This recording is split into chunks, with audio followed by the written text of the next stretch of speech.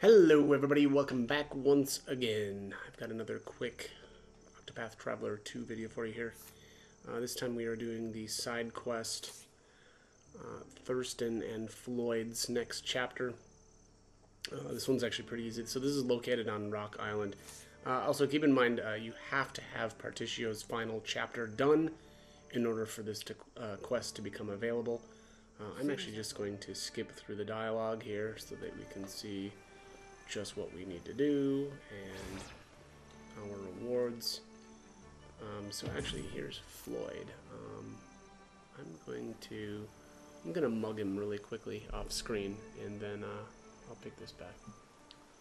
A worthwhile. All right, robbed Floyd Floyd here, um, and now we just need to knock him out. We'll ambush him. and that continues the quest.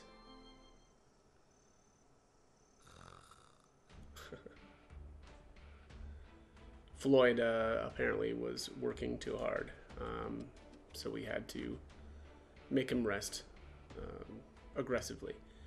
Uh, but anyways, there it is, 12,000 leaves in Floyd's Neobow. I, if I remember correctly, Floyd's Neobow is incredible. Yeah.